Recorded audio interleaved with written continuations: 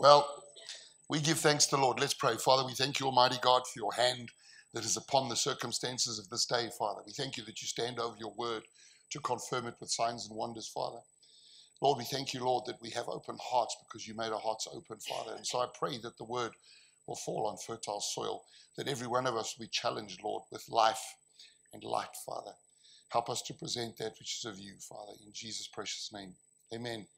Amen. So we've been uh, talking about faith of late, and um, I, I wondered whether I was finished last week, and then uh, the Lord said no. So um, I got another another message on faith I want to talk about today, and um, we'll see how the Lord leads us. And so we we've spoken about the why of faith, uh, the how or the source of faith. We've spoken about how faith how faith worked. We looked at the formula of faith, and we saw that there is a confession and a believing. And when I started talking about that a, a couple of weeks ago, I said that there is a, a third element sometimes that comes into how that works, and that's kind of the doing of faith. Amen. And we want to deal with that slightly today. Uh, so just by I'm going to confuse Edward because he's typed out a whole bunch of scriptures diligently, and now I'm going to give him scriptures he hasn't typed out. Just relax, okay? Um, but but in James 2 verse 14 it says, "What use is it, my brothers and sisters, if someone says he has faith, but he has no works? Can that faith save him?" So we know we're not talking about works to produce faith. We're talking about faith that produces works. In other words, your, your faith must be dynamic, must be vibrant, must be alive. Because of who, it, who you are, a man and a woman of faith, you have outcomes that change the way you do things. Now, interestingly, Luke 15 and verse 18 says, uh, it's the story of the prodigal. You see the, the, the prodigal coming to a place of understanding that he has to make some changes in his life and get right with his father. And in the beginning of verse 18, he says, I will set out and go to my father. And in verse 20, the beginning, he says, So he set out and came to his father. Okay? Romans 8, verse 14. For all who are being led by the Spirit of God, these are sons and daughters of God. We need to understand that being a believer, committing to the Lord, being a man and a woman of faith, is going to involve a positional change in your life. You are going to have to set out from where you are and go to the Father. Now, I know He lives in you. Bear with me. What I'm saying is, for some other, we'll, we'll get into a little bit more detail, but for, for most of us, there is something that has to change. We have to go on a journey. You know, originally, the believers were called those of the way. By their name, they were going somewhere, they were following a particular way of life. Jesus, when he talks to um, to Peter. The first, almost the first instruction he gives Peter, and the last instruction he gives Peter is, "You follow me. You follow me." You know, as and I, I quoted Romans eight. For those who are being led, it's in the present continuous tense. God is not following us; He's leading us. There's a journey happening. We're going somewhere. Does that make sense? Amen.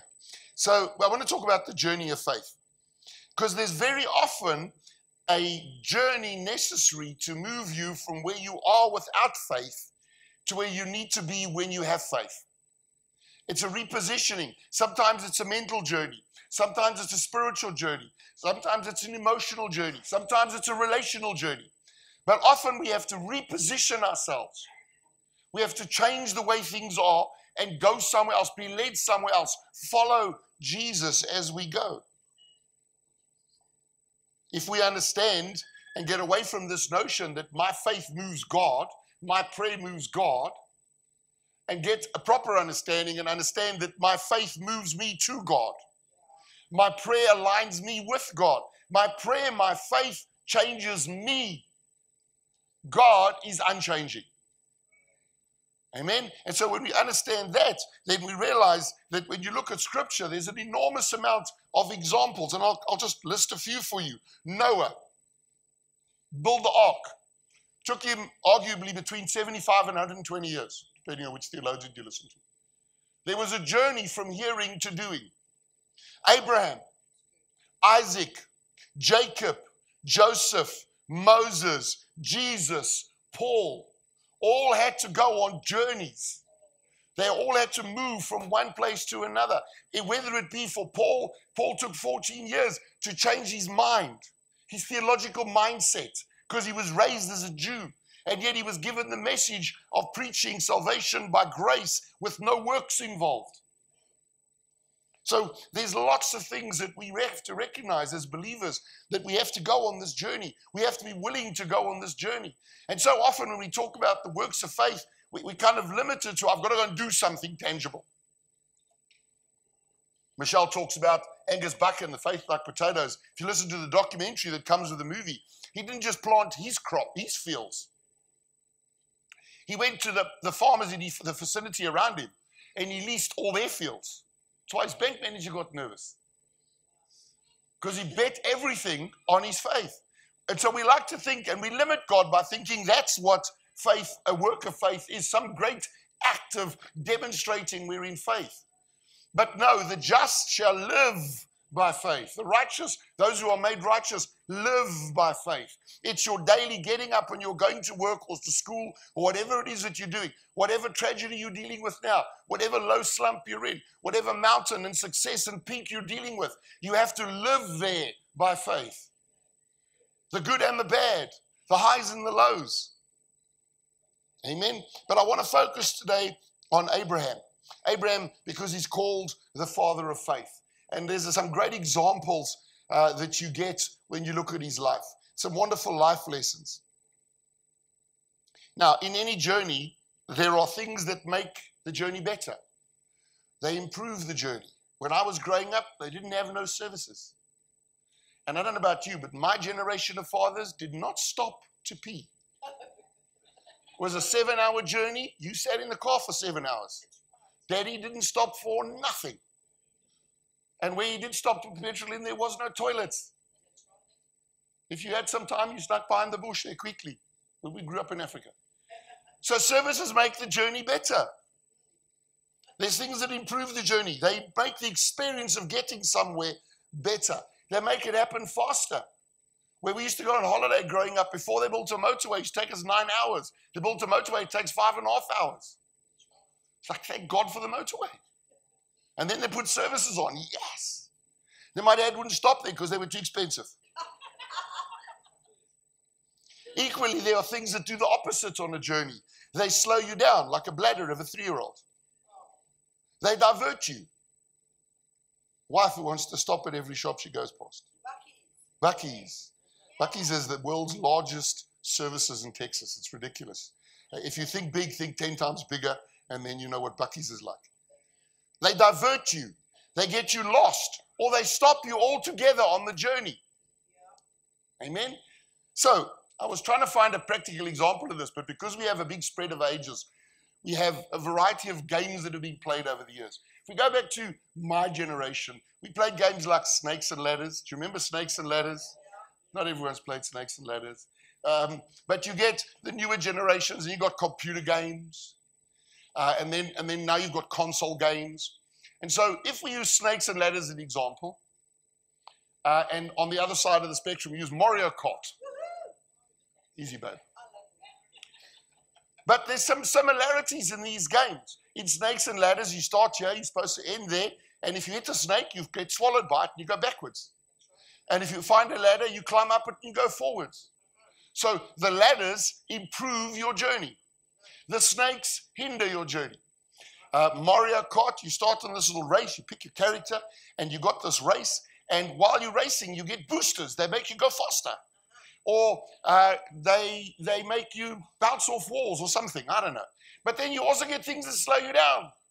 The squid squisher thing, the electric bolt from the back that blows everyone up. The things that slow you down so that it, the race becomes a little bit more difficult. So there are some very powerful spiritual lessons in that because there are some accelerators of your faith on your journey. There's some accelerators of your faith. There's some things that will make your faith work better. They'll improve the process. But there are also some roadblocks. There's some squids and snakes. But there's also some ladders and boosts and all the rest. Do you understand? So let's talk quickly about uh, the good ones first. Let's talk about the accelerators of your faith. So these are things that improve your journey. They make the experience of getting somewhere better. They make it happen faster. Amen? And I got a few. Let me give them to you. Number one, obedience. Ooh. Obedience. The first accelerator of your faith is obedience. Amen. Genesis 12 uh, and verse 1. I think we're on the scriptures now, Edward. Genesis 12 and verse 1. God says to Abraham, Go from your country and from your relatives and from your father's house to the land which I shall show you. Go from your country and from your relatives and from your father's house to the land which I shall show you. So, if you want to get where God wants you to be, you need, need to be willing to listen to Him because there's a going involved. And not, there's not just a going, there's a manner of going. We, have we've, we've heard this that it's not, it's not how you start that finishes it, how you, it's not how you start the counts, it's how you finish the counts. And I understand, yeah, as long as, yeah. The problem is how you start counts if you're running 100 meters. How you run counts if you're running 100 meters. Or if you're swimming a freestyle. Or do you understand? There's rules to starting and competing and running and finishing. And it's the same thing that is true within the Word of God. He says, Go from your country, from your relatives, and from your father's house. It should be self explanatory that you cannot be a follower of God, you cannot be being led by God if you aren't listening to God. It's like, I'm going to, it's like trying to have cats as a pet. I have a neighbor that has a cat as a pet. He takes the cat for a walk. Well, in reality, the cat walks in because it doesn't listen to him. It just walks and he wanders after it, calling it. Now, I'm not having a go at cat owners because I've had a Staffordshire Bull Terrier that used to take me for a walk on my belly across the park. I'm not saying that. I'm saying that, the, the simple reality is that, that you are the lead, it follows you. God is the lead. He says to Peter, Peter, follow me. And at the end of his life, he says, It doesn't matter what I do with other people, Peter, you follow me. So we have to be obedient. If you aren't going to be willing to be obedient to what the word says to you, then you are going to slow yourself down. What could be an accelerator becomes a decelerator. A decelerator, yeah. Unfortunately, too many of us think this is our life, that it's all about us. Galatians 2 and verse 20 says, I have been crucified. What happens to crucified people? They die. I have been crucified with Christ, and it is no longer I who live, but Christ who lives in me. In the life which I now live in the flesh, I live by faith in the Son of God. I've told the story before. We had a, when we were at Bible school, I had a thorn in the flesh. Just pray for me. Um, but every day, this man just wound me up. I just had to look at him. Ask my wife the first day I got to Bible school, the very first day he irritated me.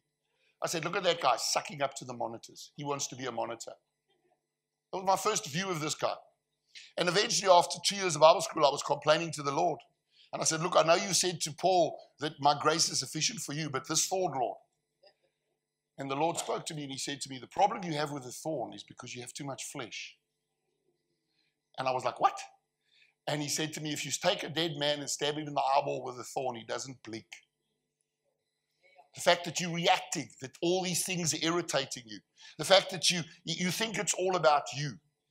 Amen. Obedience is the key to getting where God's trying to get you fast. It'll, it's an accelerator. Learn to listen to God. The second accelerator is worship. It's worship. And when we talk about worship in Abraham's life, you see that Abraham built altars. When he got to the promised land, he built altars. And there's one example in Genesis 12, verses 5 through 8. Abraham took his wife Sarai and his nephew Lot. Uh, that was Abraham's first mistake. Took Lot. Did God not say to him, he said to him, Go from your country and from your relatives. Mm. So he took a relative with. and all their possessions which they had accumulated, and the people which they had acquired in Haran. And they set out for the land of Canaan. So they came to the land of Canaan. Abraham passed through the land as far as the site of Shechem to the oak of Moreh, and from, Canaan, from the Canaanites. Now the Canaanites were in the land at that time, and the Lord appeared to Abraham, and he said, To your descendants, I will give this land. So he built an altar there to the Lord. Amen. And, and he builds at least four altars that we can find in Scripture as he traveled around Canaan. Your faith, your priority on a faith journey is to remain a worshiper. Your priority on a faith journey is to remain a worshiper. Why? Because it keeps you focused on the Lord. It keeps your priorities set right. You don't get distracted because the devil is not a fool. If you start on a spiritual journey, suddenly you'll get business opportunities to take you that way. You'll get you'll get the love of your life will want to go this way. I recommitted my life to the Lord, and the hottest woman I'd ever seen threw herself at me. No, it was long before you. She was of the devil, not of you. Michelle, that was then, okay? That was at that point in time, she was the hottest woman I'd ever seen. Then I got to know you, and that all changed. Jeez.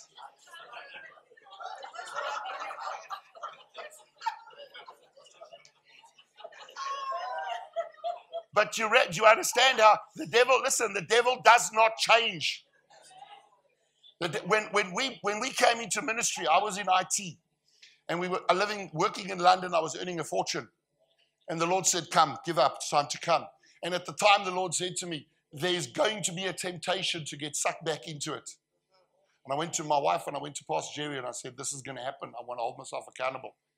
And a few months later, my agent phoned me up and said, I got a contract for you. Was good money, better than I'd earned before. And I was on good money. Problem was, it was in Bournemouth. And I went to I went to my wife and I said, Here's the temptation. I went to Pastor Jerry and I said, Here's the temptation. And I said no to the contract. Because this was the journey God would have me on. Do you understand? You've got to be absolutely committed. And the way you do that is you worship. It's a work, an act of worship. I, I live my life as an act of worship. Well, That's what we do as believers. I'm not special but unless you're willing to build some altars. What, what purpose do altars serve? They become a place for prayer. They become a place for worship. They become a place for consecration. They become a place to remember. And so, if God puts you somewhere on a journey and you built an altar there, that's where you stay. Because there's an altar. That's where you come and pray. That's where you come and worship. There's an altar. The building of, of an altar is important, guys. It, it implies commitment. To build an altar is, is demonstrates a commitment to where you're placing that altar.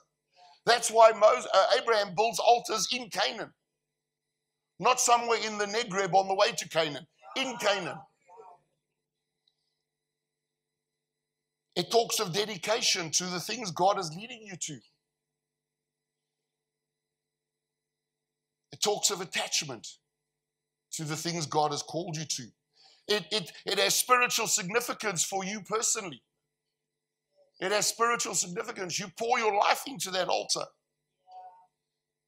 And it's interesting because those altars are, are they significant. They imply a commitment to a place very often. As I said, Abraham built them in the promised land. He didn't build them, build them on the way. And that way was fertile. He prospered on that way but he built the place of worship where God wanted him to be. The third accelerator. So the first is obedience, accelerator of faith. The second one is building altars, a worshiper. Second accelerator. The third accelerator is the digging of wells. The digging of wells. Abraham dug wells in Canaan, not on the way. You dig wells where you plan to prosper. You dig wells where you plan to prosper. You don't dig wells where you're journeying through. You don't buy a house if you if you want to go and live in on the Lizard Peninsula and you've got your dream home there. You don't buy a house in Bridgend on the way. Do you understand? That's not where you're called. It's not where you're being sent. It's not where your faith is bringing you. It's not where your father's house is for you, particularly. In Genesis chapter 26, verses 15 and 18. Now the Philistines had stopped up all the wells which his father's servants had dug in the days of Abraham, his father, and they'd filled them with earth. And then in verse 18, and Isaac, and Isaac dug again the wells of water which they had dug in the days of Abraham, his father. For the Philistines had stopped them up after the death of Abraham. He called them by the names which his father had called them. You see, wells are where life flows, it's where water comes from. They imply permanence of life. If you know any of the desert countries, the, the, the oases where the, where the valleys is critical, absolutely important. They become the source of blessing. If you happen to own the build or the building, if you happen to own the land where the well is, you prosper because everyone needs to pay to use your water. For desert people, they, they meant everything. Absolutely everything these wells. And the wells were for everybody. You didn't, the worst thing you could do was pollute a well. Because now you can't drink it, but the next person can't, and the next person can't. And so it was like communal in that sense. Guys, wells are important. You dig wells, and the provision and the blessing and the outpouring of what God's trying to get to you comes where the well is. If you leave the well, the blessing is there. Now, people go, Oh, so I'm not going to be blessed if I'm not at the place. I don't know what God's going to do and God's not going to do. He can do all things. I'm telling you that where you dig a well, that well produces water, and that place is blessed. Now, if you want to go elsewhere, go elsewhere, but you're going to need to find another well. This is not the only place that is blessed. This place has wells that God placed here to provision this church and this community of believers with what they needed to do the work of the kingdom. If this is where God's calling you, if this is your place, then dig a well. Dig a well. Just all get ready to say amen, and you'll know I'm not talking about you now. The fourth accelerator, the fourth accelerator is tithing. Abraham was a tither.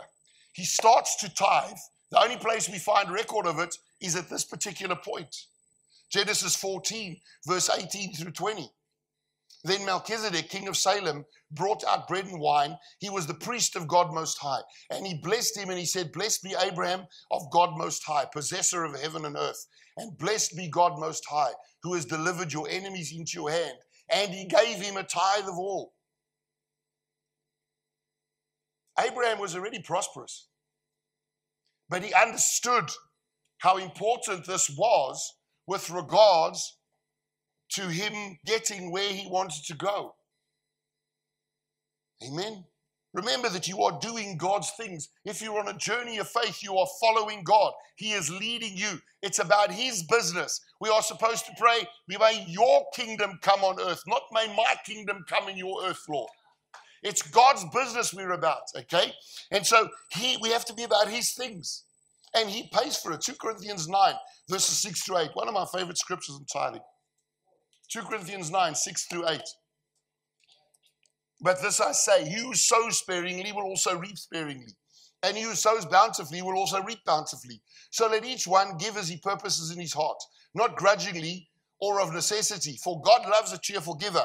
And God is able, God is able to make all grace, that's all God's power and ability, abound towards you, that you, having all sufficiency in all things, may have an abundance for every good work. God pays, He makes things abound to you when you're about His work. Amen. He pays for what He commissions and calls you to do. But he chooses to do it through a biblical process of getting finances to you. And it's clearly defined there. if you sow sparingly, you'll reap sparingly. If you sow bountifully, you reap bountifully. Amen. That's the principle. And so Abraham accelerates his journey by tithing. He in the land, he finds a priest of God and he tithes because he know, knows. Look, look what Abraham says about it, or what the priest says about it. He said, Blessed be Abraham of God Most High, possessor of heaven and earth. God possesses heaven and earth.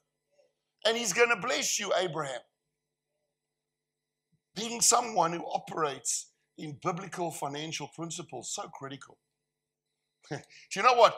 Do you know what's the last part of you that joins the church? Your wallet. It usually joins two or three years after you actually join. It's the funniest thing. We have this deep, deep, deep affection to our money. So let's talk in the last 20 minutes, 15 minutes of roadblocks, those decelerators, roadblocks to your faith. So we've looked at we've looked at four things that will uh, that will speed up your faith. We've looked at some of the ladders, the things that will get you there quicker. Now you don't have to believe them. Don't be obedient. Don't worship. Don't tithe. Spend time on the road. Go around the mountain. Amen. Roadblocks to faith. These are the things that do the opposite to accelerate you. They slow you down. They divert you. They get you lost or they stop you altogether. They can do as much as actually stop you and cause you to give up on the journey. And there's only three here, and I will say to you, they're not fun. Number one, relationships. Relationships. Now, Abraham takes his family, but he was not supposed to take anyone else. He was not supposed to take his relatives. Amen. I read it earlier on, Genesis 12, verses 1 and then verse 4. Go from your country and from your relatives and from your father's house to the land which I will show you. And verse 4. So Abraham went as the Lord had spoken to him, and Lot went with him. Mm-hmm. So, what am I saying? Your, your relationships can massively impact your effectiveness in the kingdom. Who you choose to connect yourself with and align yourself with, and allow to, allow to align themselves with you. Amen. Let me look at some scripture very quickly. 2 Corinthians 6 and verse 14. Do not be mismatched with unbelievers. For what you for what do righteousness and lawlessness share together? Or what does light have in common with darkness? Do not be mismatched with unbelievers. Man, do, do not be do not marry an unbeliever thinking they might change. The word works the other way. You will change. Do not go into business with an unbeliever. He's going to rip you off. Don't be unequally yoked. Do not be mismatched. Your family. Let's talk about that. This is a tough one. And I have a caveat with regards to this. But anyway, let me get there. Matthew 10, verse 37 through 39. Matthew 10, 37 through 39. The one who loves father or mother more than me is not worthy of me. And the one who loves sons or daughter more than me is not worthy of me. And the one who does not take his cross and follow after me is not worthy of me. And the one who has found his life will lose it. And the one who has lost his life on my account will find it. And then Mark 10, verse 28 through 30. Mark 10, 28 to 30. Peter began to say to him, Behold, we have left everything and have followed you. And Jesus said, Truly I say to you, there is no one who has left house or brothers or sisters or mothers or fathers or children or farms for my sake and for the gospel's sake, but that he will receive a hundred times as much now in the present age houses and brothers and sisters and mothers and children and farms, along with persecutions, and in the age to come, eternal life. Now, let me be very clear. Abraham went with his entire family. He took his wife, he took his household. He had to leave his father's household. But Lot was not in his household, and he took Lot. God is not telling you to abandon your spouse, your children. He's not telling you to abandon your mother and your father. That's not what he's talking about. He's talking about if you're willing to abandon God for any of those people, there is a problem. I acknowledge that following the call of God to the UK with my wife and my children was incredibly difficult for my mother in law and my father in law, for my father and my mother. It was incredibly difficult for my children to grow up with cousins that they never saw. Now that I'm on the verge of being a granddad, no, she's not pregnant yet, but we are trusting. But now that I'm facing that in my life, the thought that she lives in Birmingham is horrifying. I'm praying, Lord, move them closer. Do you understand? So I and I went to my mother and my mother-in-law and I said, I'm so sorry. But I would have done it anyway. I'm now more empathetic. I understand what it cost. But I had to listen to God. The call of God must come first. And you don't depart from those relationships. You don't destroy the relationships. You work hard to keep those relationships in place. But the word of God must come first. We've done over the years, we've done a number of things that the word requires us to do. And we go to our family and we say to our in laws and my mother and brothers, and This is what God's word says I've got to do. This is why I'm doing it. And they don't get it. You're mad. You're nuts. It's going to cost you. It doesn't matter. God's word. I cannot claim to be a believer and not live according to his word. Amen. Understand your relationships. And, and, and for, for the simple reality for us, it's not our spouses and our children, it's our friends that are the problem. It's our friends that are the problem. They are the ones that draw you aside.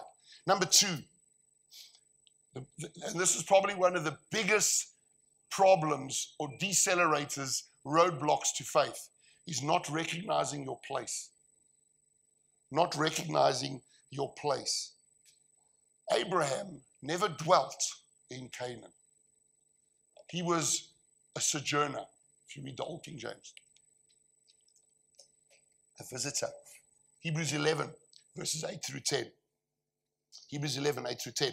By faith, Abraham, when he, called, when he was called, obeyed by going out to a place which he was to receive for an inheritance. And he left, not knowing where he was going. By faith, he lived as a stranger. That word stranger is the word sojourner. It means not having a home there in the land of promise, as in a foreign land, living in tents with Isaac and Jacob, fellow heirs of the same promise. For he was looking for the city which had foundations, whose architect and builder is God. So Abraham never dwelt in Canaan. He moved whenever the circumstances got tough. When his wife catches the eye of the of the Pharaoh, oh, sorry, the king, he was like, nah, let's leave. Let's misrepresent. When the drought comes, when the famine comes, he goes to Egypt. He was always easily packing up and leaving. So let's talk about that for a minute. Because that's that that's that's for lack of a better thing, let's call it a vagabond. Let's talk about, let's talk about people that have a vagabond spirit. A vagabond is a person who is unsettled and irresponsible, a wanderer without any fixed destination or home.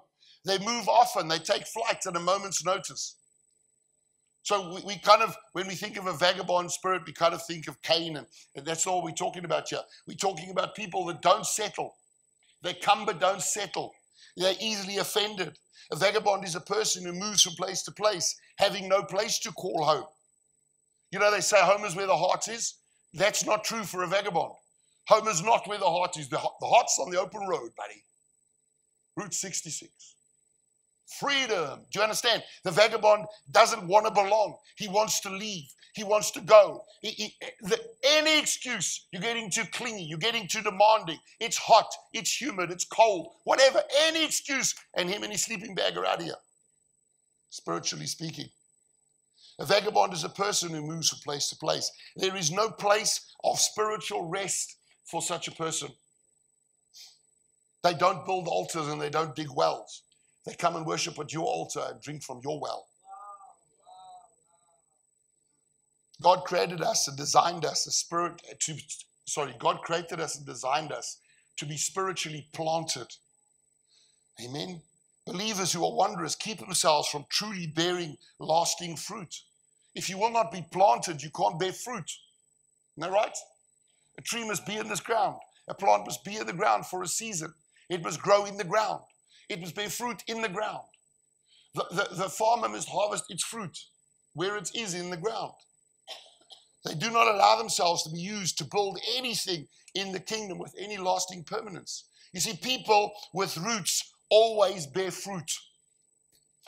If you want to be fruitful, there needs to be roots. No roots, no fruit. No fruit is because there's no roots. Psalm 1, verses 3. He will be like a tree planted by streams of water, which yield its fruit in its season, and its leaf does not wither. And in whatever he does, he prospers. Amen. You have to be planted somewhere. You cannot be a vagabond. You see, when you are planted, you will never cease from bearing fruit. Did you know that's what the word says? If you allow the Holy Spirit to plant you somewhere, you will never cease from being fruitful. Jeremiah verses 17. Sorry, chapter 17, verses 7 through 8. Blessed is the man who trusts in the Lord and whose trust is the Lord, for he will be like a tree planted by the water that extends its roots by a stream and does not fear when the heat comes, but its leaves will be green and it will not be anxious in a year of drought, nor cease to yield fruit, irrespective of the circumstances. If God's planted you, you will bear fruit. So, why is God so adamant about you being planted? Well, believers that are not planted are people without a home. You need to be in a home to be planted. They leave easily. If corrected or rebuked, if confronted, they leave. They get intimidated in our churches. Sorry, they get intimate in our churches for a season, but they never stay. They move on. They wander from church home to church home looking for something never happy with anything that they find. And if they do have a place they call home, they don't attend with any measure of frequency. They are wanderers within a fellowship. God cannot depend on them to build his church. Jesus cursed the fig tree because it did not have fruit. You will not have fruit without roots. You have to be planted where God wants you to be planted. And listen, don't feel like I'm intimidating you into this church. I'm just trying to intimidate you into some church. you, as a believer, you, you need to find a place where you agree, where you get the vision, where you want to sow your life, where you want to pour your vessel out. Number three, fear will road be a roadblock to faith. Fear every time. Amen. Abraham had it loads in his life. He feared that his wife would be stolen. Now, let's just be practical here for a moment. She's a 100.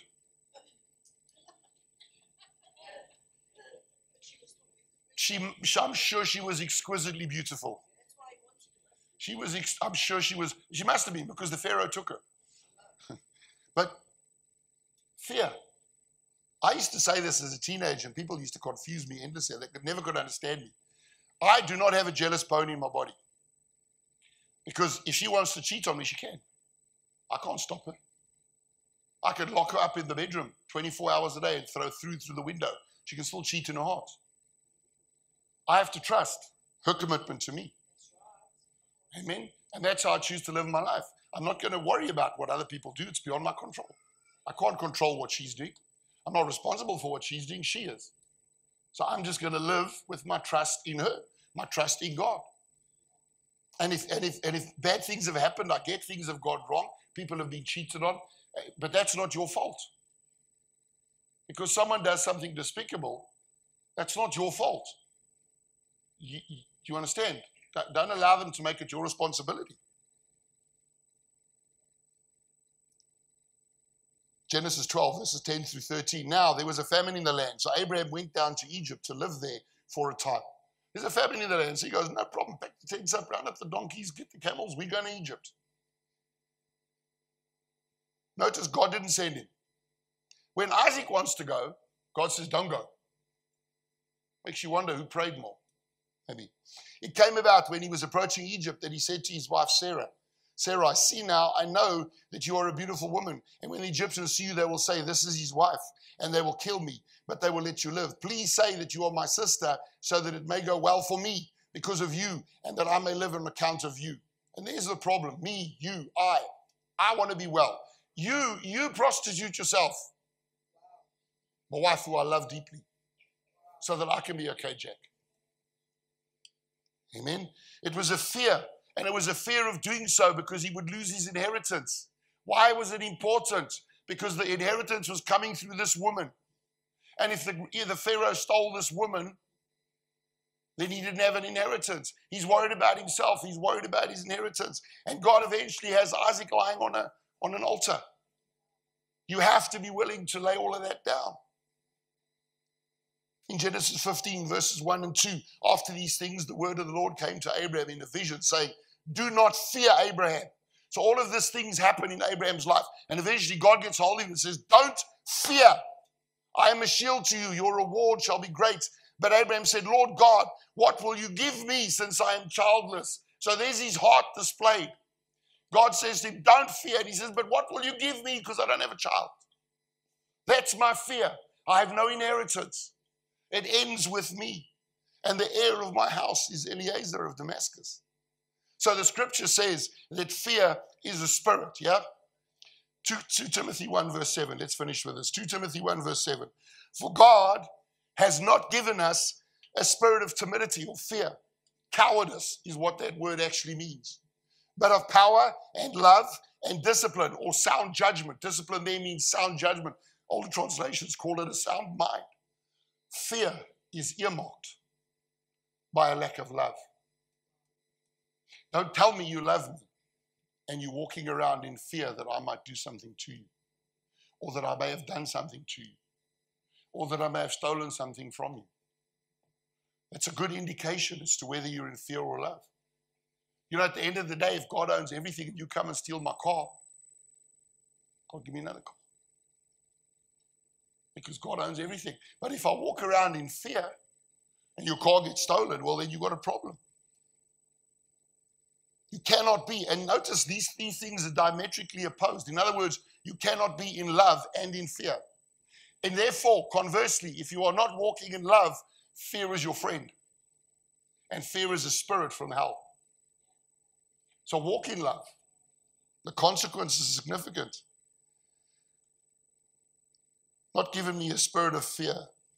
Amen.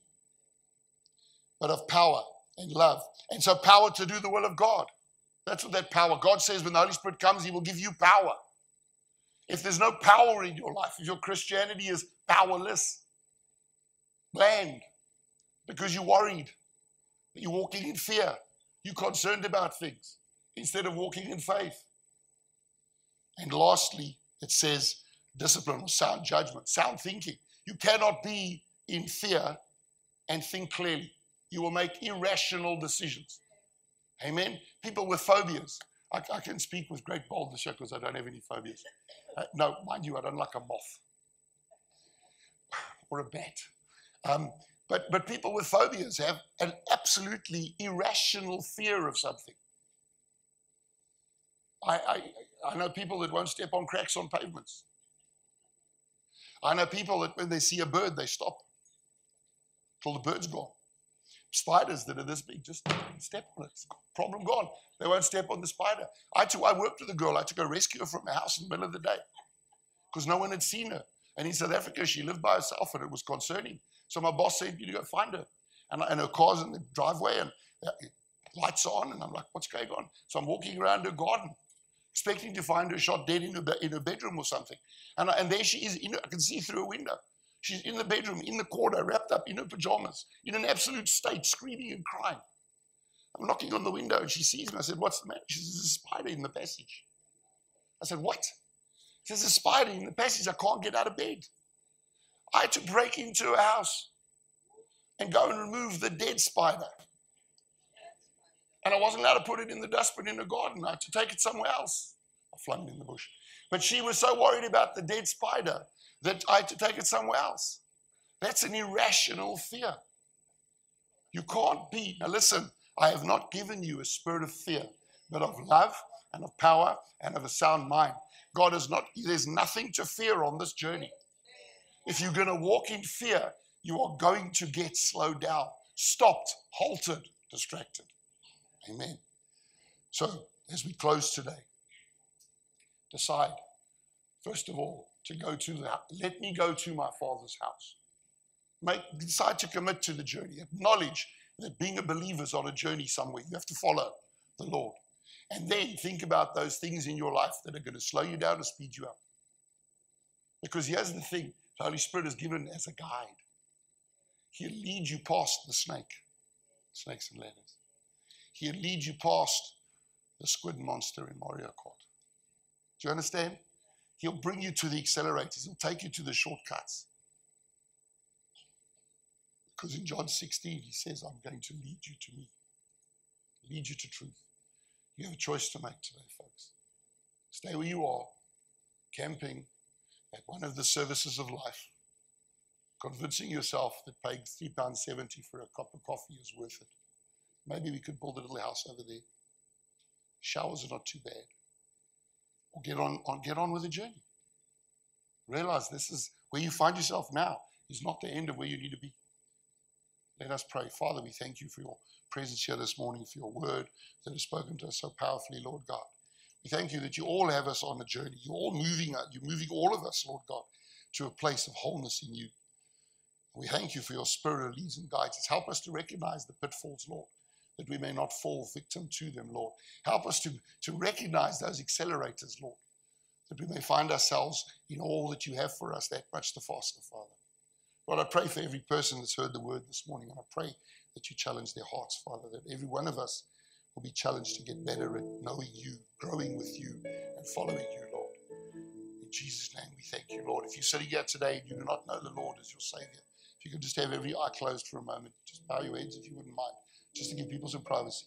If you do not know the Lord as your Savior, don't go from this place without giving Him that opportunity. The Bible says if you believe in your heart that He is Christ, He is who He says He is and you're willing to say that with your mouth, He'll move you from darkness to light. It's as simple as that. And why do you need to be in light? Because after this life, there is death and then there is judgment. And the judgment will determine an eternity with God or eternity without Him. And trust me, you do not want to be without Him. Maybe you've known the Lord, you've prayed, and you're far from Him now, you've journeyed from Him for whatever reason, you've backslid, and you know what that means. Also, don't go from this place without making right today just while every eye is closed and every head is bowed, if you want me to pray with you, I'd love to do so. Quickly just slip your hand up so I can see you are. I can identify you and I can pray with you. That'd be great. I know sometimes there's a wrestling that goes on in your heart. So I'll just give you some space. God. Thank you very much, folks. Listen.